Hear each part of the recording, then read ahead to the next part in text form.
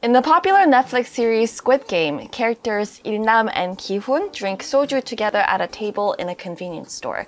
In TVN's It's Okay to Not Be Okay, Moon-young and Gang-tae sit down together and eat ramen in a convenience store.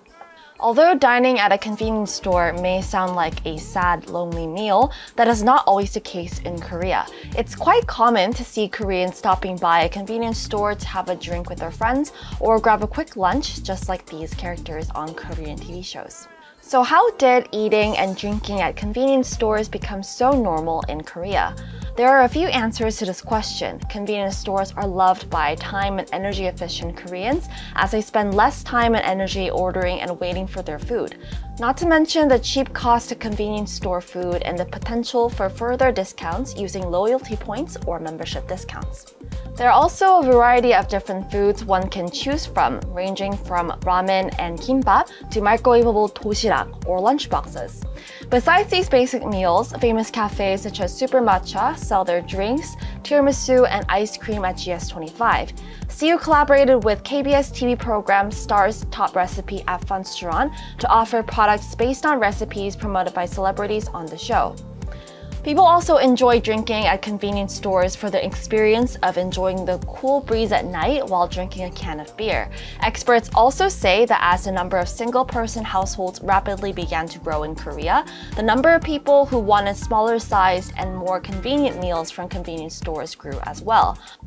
So, have Koreans always ate and drank at convenience stores? Not really. Eating inside convenience stores was only permitted in 1998. There were no tables inside back then, so CU was the first convenience store chain in Korea to set up a comfortable indoor eating space with tables and chairs in 2012. Now, convenience stores have evolved to include cafe and restaurant-like areas inside. These dine-in areas being inside convenience stores is quite unique to South Korea, as although Japan is often seen as the country of convenience stores, it falls behind Korea when when it comes to eating in spaces. With Korean TV shows and movies showing celebrities enjoying a meal at convenience stores, the experience is considered to be something unique to Korea that foreign retailers reach out to local convenience store operators to replicate in their country. These days, Korean convenience stores are evolving to offer more than just tables and chairs for dine-in purposes, as they are becoming banks, post offices, and even electric vehicle charging stations. Korea's convenience stores have continuously evolved ever since they began to set up comfortable eating spaces inside the stores.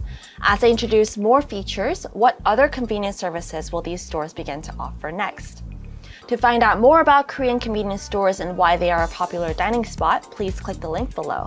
Thank you for watching, and I'll see you in the next episode of Why. Goodbye!